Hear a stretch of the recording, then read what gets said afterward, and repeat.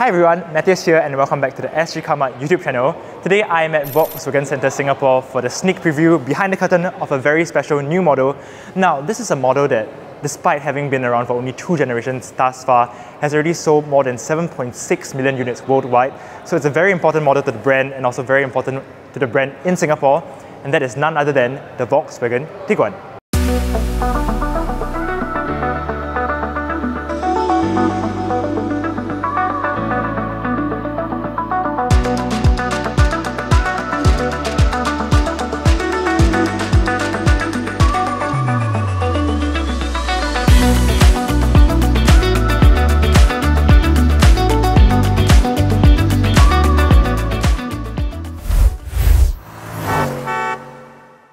Now, as mentioned earlier, what I'm standing right next to is the all-new third generation Volkswagen Tiguan. This new Tiguan has grown in some ways, it's gotten downsized in others. We'll talk about all that very soon, but first, let's start with styling. It's not hard to distinguish this new car from the second generation model. Specifically, Volkswagen says that it has given the Tiguan a more powerful front end, with the car's headlights positioned higher than before. Now, of course, one of the highlights of the new Tiguan is that it now comes with these IQ Light HD Matrix headlights, which we first saw on the Touareg. They come down now to the Tiguan, and these contain more than 19,000 LEDs each, which help to illuminate the road and give more comfort and more safety to drivers. As is the trend nowadays, the Tiguan also gets a very slim and very nice LED light bar at the front to crown its face. And if you follow me to the side, you'll realize that the car has curved and smoother lines than before, Volkswagen says that it's reduced the drag coefficient of this car from 0.33, which was in the second generation car, to 0.28 CD now in this new Tiguan, which means that it should be able to cut through the air more smoothly. And if you follow me to the side, you realize that the car has grown by 30 millimeters in length, although its wheelbase has remained the same. Now, of course, on the rear, we get a very, very cool and very modern looking tail light bar, as is the trend nowadays. Open up the boot, and you get an absolutely cavernous space. This has now grown to 652 litres or 37 litres more than before. You get this very nice square shape and uh, quite a low load lip so it's easy to load items in. And of course if you want to expand the space you can do that as well by folding the seats down which is activated just as such. Quick commercial break before we continue. Volkswagen has kind of been a bit playful with this new Tiguan and put the image of a tiger on the left side of the rear window and the image of an iguana on the right side of the rear window. If you know what the Tiguan name means, you should know what these Easter eggs are. I'll leave it as that. Now, despite the increased dimensions on the outside, the car's interior hasn't changed that much. We still have a 2680mm wheelbase, which means that you still get lots of space. As you can see, I have a good amount of legroom and a good amount of headroom too, despite this panoramic sunroof. If you only have two in the back, you can have this central armrest and pulls out to see these very nice cup holders.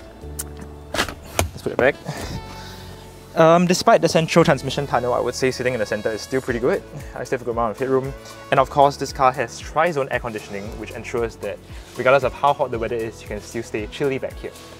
I think up front, however, is where the changes will be the most apparent with this completely redesigned dashboard. We get lots of screens, as you would expect on a modern car, but with this new steering wheel, you realize that these are all physical buttons, which is, oh, which is, which is a great thing to have.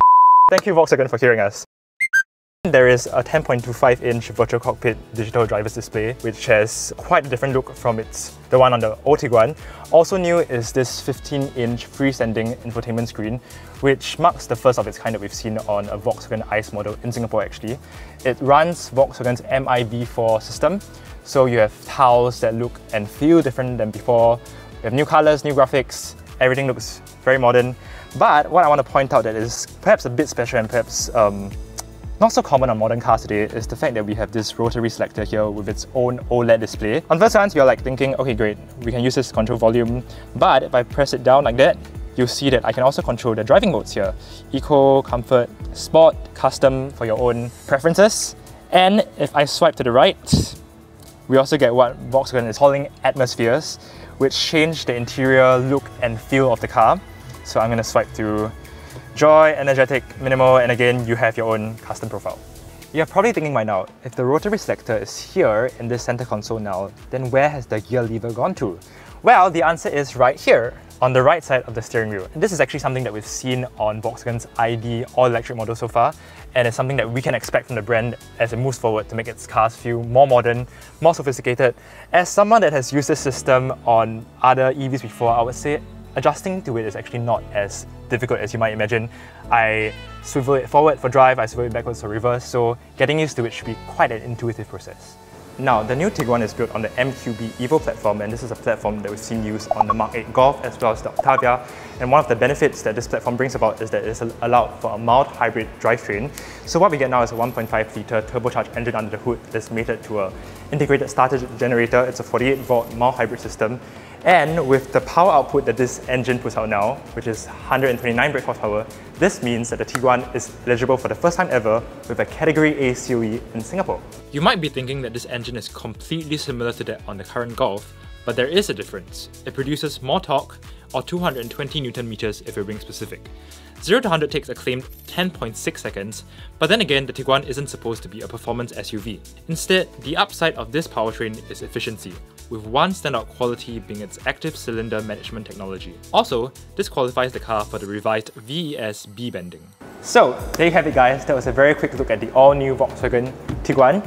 Now, the Tiguan will be sold in two trims in Singapore, the Life and Life Plus, but honestly on the Life you're already getting features like your massage and ventilated seats, as well as the full range of screens, the 15-inch infotainment screen and the digital driver's display, so either way you're getting a very good car.